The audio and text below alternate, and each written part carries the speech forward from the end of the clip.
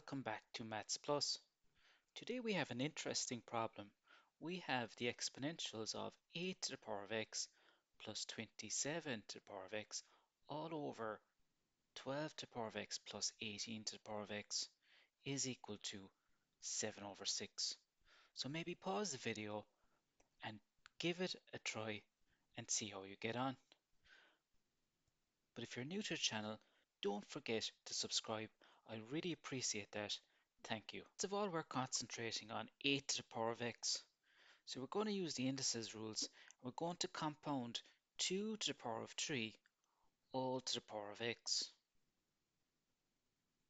Now we can use the power rule and we can write it as 2 to the power of 3x. Okay, that's the first one completed.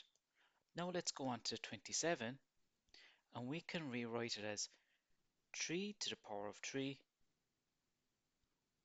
all to the power of x and then we can use the power rule and write it as 3 to the power of 3x. Now we're going down south to the 12 and we're going to rewrite that as 2 to the power of 2 by 3 to the power of 1 all to the power of x. Then we can rewrite that as 2 to the power of 2x by 3 to the power of x. And now the 18, and we can rewrite that as 2 to the power of 1 by 3 to the power of 2 multiplied to the power of x. Now let's multiply in with the power rule. We can rewrite it as 2 to the power of x by 3 to the power of 2x.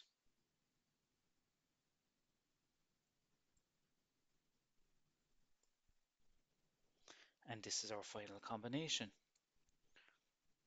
So we have 2 to the power of 3x, 3 to the power of 3x, 3 to the power of x by 2 to the power of 2x, plus 2 to the power of x by 3 to the power of 2x. Let's concentrate on expanding the numerator. So the 2 to the power of 3x plus 3 to the power of 2x up here can be converted to 2 to the power of x all to the power of 3 by reversing the x and the 3. Right, so if that's the case, then we can apply the sum of two cubes algebra expression to the numerator. So let's express it outward. So we have 2 to the power of x replaces a, add it to 3 to the power of x, and that's your b, now we're going to square up and we're going to go 2 to the power of x all to be squared minus the product of 2 to the power of x by 3 to the power of x plus 3 to the power of x all to be squared. Now let's turn our attention to the denominator and if we rewrite it down here and examine it we can see we have common factors and we can factor them out. So we can rewrite it as 2 to the power of x by 3 to the power of x multiplied by 2 to the power of x plus 3 to the power of x. 3 to the power of x. Very good. So now it's factorized. So let's look at what we have after factorizing. Let's eliminate the 2 to the power of x plus 3 to the power of x factor above and below. And now we have a simplified fraction.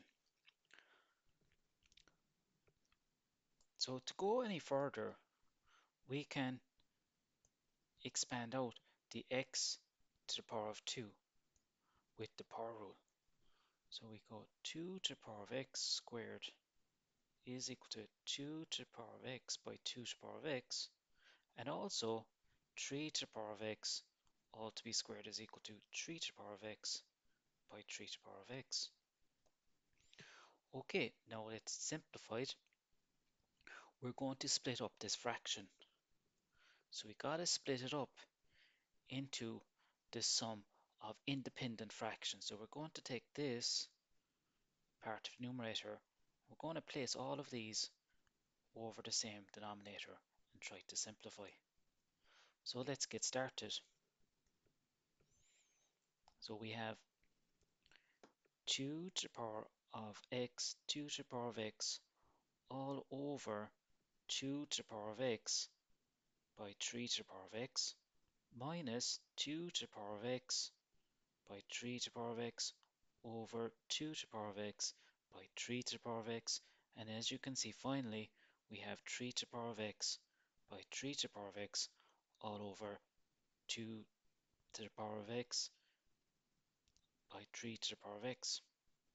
So let's start our cancellations and simplify. So over here, we can cancel the 2 to the power of x, perfect. And the next one, they will cancel in on both terms. And finally, then the 3 to the power of x.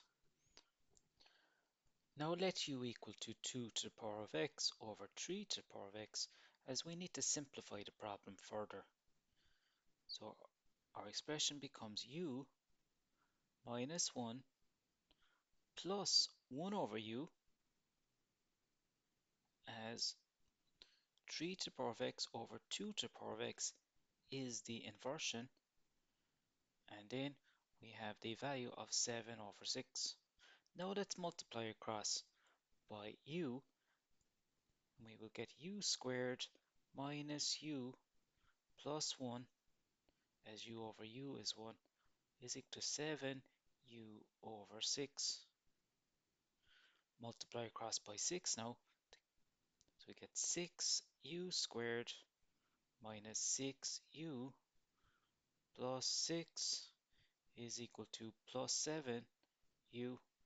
And finally, our expression becomes quadratic in neat form. So we get minus 6 minus 7, as this is negative when I bring it across here, and be minus 7u get minus 13u plus 6 is equal to 0. So we have the minor task now of factoring for u. So we're going to go with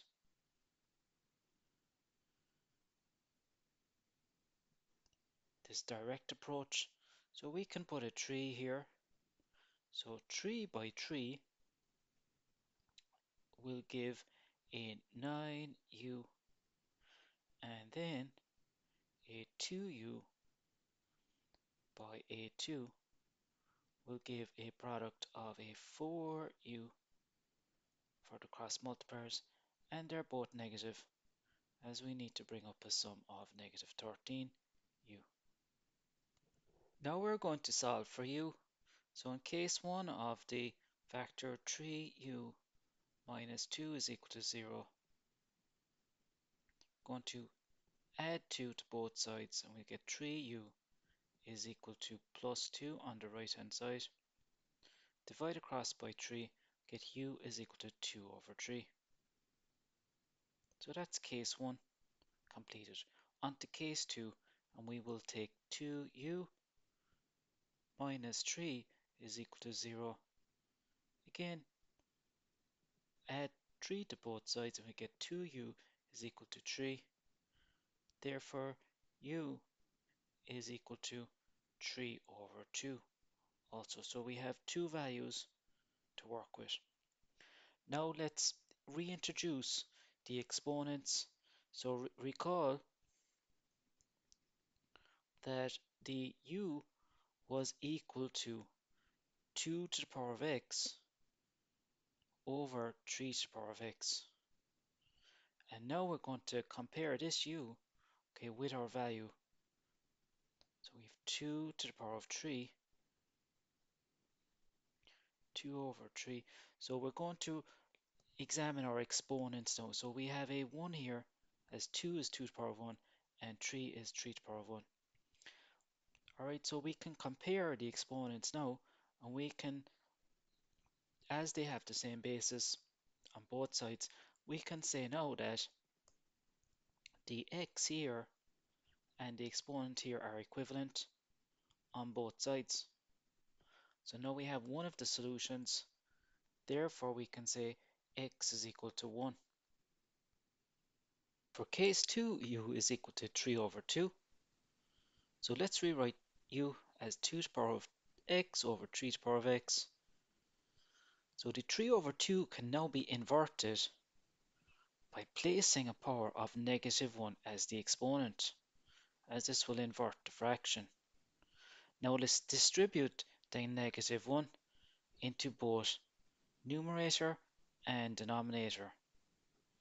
And we will get a result of 2 to the power of x over 3 to the power of x is equal to 2 to the power of negative 1 over 3 to the power of negative 1.